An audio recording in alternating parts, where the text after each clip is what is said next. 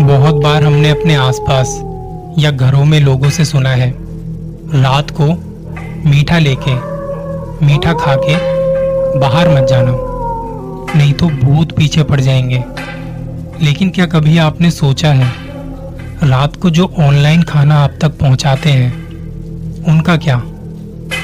Online food delivery के ज़माने में कितना आसान हो गया है। घर बैठे बैठे खाना ऑर्डर कर देना। टाइम भी कितना बचता है? कहीं जाना भी नहीं पड़ता। घर बैठे अपनी पसंद का खाना, वो भी गर्मा गर्म पर क्या कभी सोचा है इन डिलीवरी वालों के बारे में?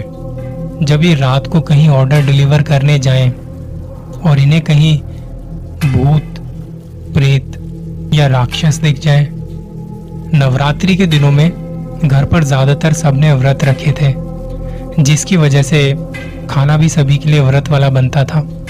मेरे लिए व्रत का खाना भी नहीं बचा था उस दिन।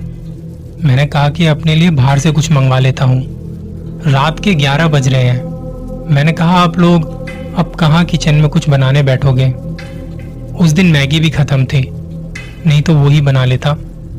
खैर, मैंने ऑनलाइन खाना देखना शुरू किया कि इस वक्त क्या मिल सकता है, कितनी जल्दी मिल सकता है। चार पाँच लोकेशन जो थी, घर के आसपास दिखा रहा था।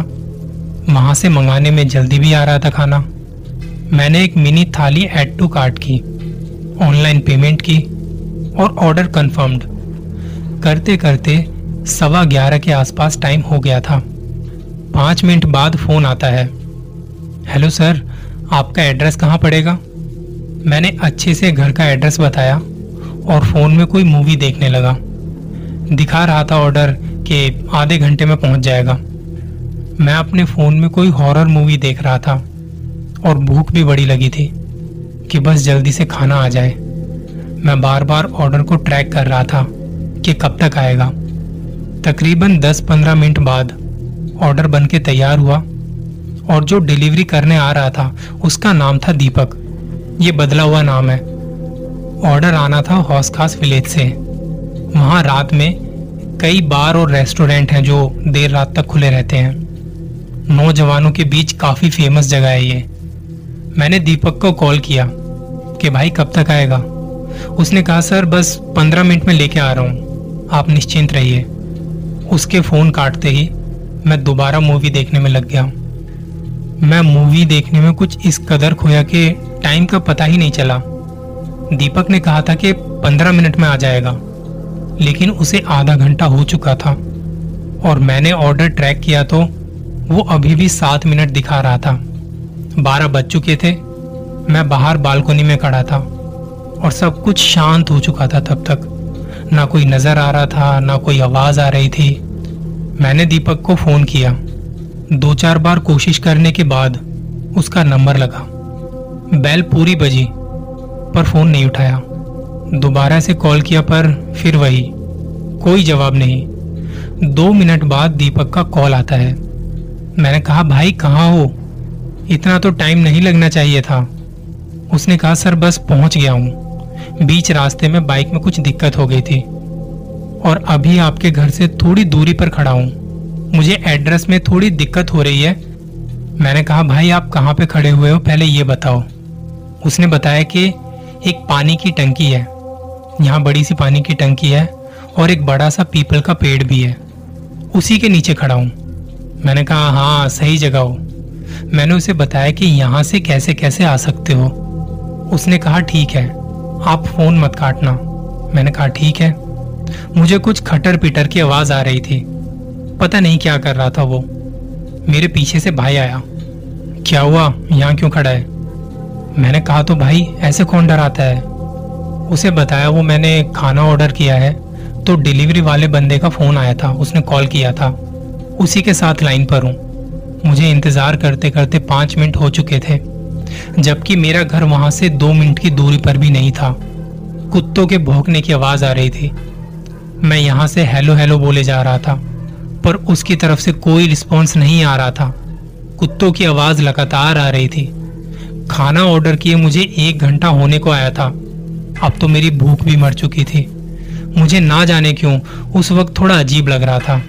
पता नहीं क्यों मन बैठा जा रहा था। इतने में भाई फिर से आया। क्या हुआ, तेरा ऑर्डर कहाँ है? मैंने कहा, पता नहीं। अभी तो वो पानी की टंकी के पास खड़ा था। भाई कहता, चल नीचे चलते हैं। गाड़ी भी पार्किंग से निकाल के घर के सामने लगा देता हूँ। मैंने कहा, ठीक है, चल। हम दोनों नीचे गए। गाड़ी को एमसीडी की पार्किंग से निकाल के घर के सामने लगाने वाले थे तो भाई ने कहा कि चल एक बार तेरा वो डिलीवरी वाला बंदा कहाँ है, उसे देख कर आते हैं। भाई ने गाड़ी कॉलोनी से बाहर की तरफ़ मोड़ ली। बाहर आते ही गाड़ी पानी की टंकी की तरफ़ मोड़ी और वहाँ डिलीवरी वाले बंदे की बाइक खड़ी दिखाई दी। मैंने अभी तक फ़ोन नहीं काटा था। मैं हेलो हेलो बोले जा रहा था, पर सामने से कोई रिप्लाई नहीं। मैंने फिर फ़ोन काट के उसे दोबारा कॉल किया। बैल जा रही थी। भाई ने गाड़ी साइड में लगाई और हम गाड़ी से निकले। मोबाइल की रिंग सुनाई दे रही थी कि कहीं आसपास से आवाज़ आ रही है, पर दीपक कहीं नज़र नहीं आ रहा था। वहाँ स्ट्रीट लाइट कुछ दूरी पर थी। पेड़ की वजह से लाइट बहुत कम आ रही थी। भाई ने मोबाइल की फ्लैश लाइट ऑन की। बाइक में देखा तो अभी चाबी लगी हुई थी और उसका खाने का बैग भी खुला हुआ था। भाई जल्दी से गाड़ी की तरफ़ गया और वहाँ से एक छोटा सा डंडा निकाल के लाया। वो गाड़ी में एक छोटा सा डंडा रखता है। रात के सफ़र में कभी कभी बहुत ज़रूरत पड़ सकती है इसकी। हम धीरे धीरे वहाँ देखते हुए जा रहे थे। कुत्तों के भौंकने की आवाज़ आ रही थी। थोड़ा आगे जाके वहाँ एक छोटी सी पार्किंग थी, जहाँ पर कुछ खाना पड़ा हुआ था। और वहीं वहीं उन कारों के बीच में दीपक गिरा पड़ा था। उसका फ़ोन भी वहीं बज रहा था। वो छटपटा रहा था। वो देखते ही हमारी हालत खराब हो गई। भाई कह रहा था, इसे क्या हुआ? वो अपने हाथ के इशारे से ऊपर पेड़ की तरफ़ इशारा कर रहा था। वहाँ ऊपर पेड़ की तरफ़ पानी की टंकी पर एक परछाई नज़र आ रही थी, जो कुछ खा रही थी। चबाने की आवाज़ आ रही थी। हमने जल्दी से दीपक को उठाया और उसे कंधे के सहारे से उसकी बाइक तक लेके आए। वो अभी भी काँप रहा था। इतने में वहाँ कॉलोनी के सिक्योरिटी गार्ड आ गए और उन्हें हमारे हाथ में डंडा देख यूँ लगा कि हमने दीपक की ऐसी हालत की है। दीपक ने सिक्योरिटी गार्ड को बताया कि इन्होंने कुछ नहीं किया। मैं यहाँ पे भाई साहब का खाना लेके खड़ा था और घर का एड्रेस कंफर्म कर रहा था। तभी ऊपर पेड़ पर से कोई आदमी आया और मेरे खाने के बैग में से खाना निकाल के वापस ऊपर चढ़ने लगा। मैंने उसे पकड़ा और रोकना चाहा। तो वो बिगड़ गया। उसने मुझे नीचे पटक के मेरे पैरों को खींचता हुआ वहाँ गाड़ियों के पीछे ले गया। मैं वहाँ छटपटा रहा था। वो मेरी छाती पर आके बैठ गया। तब मैंने उसका वो भयानक चेहरा देखा। उसके मुँह से लार टपक रही थी।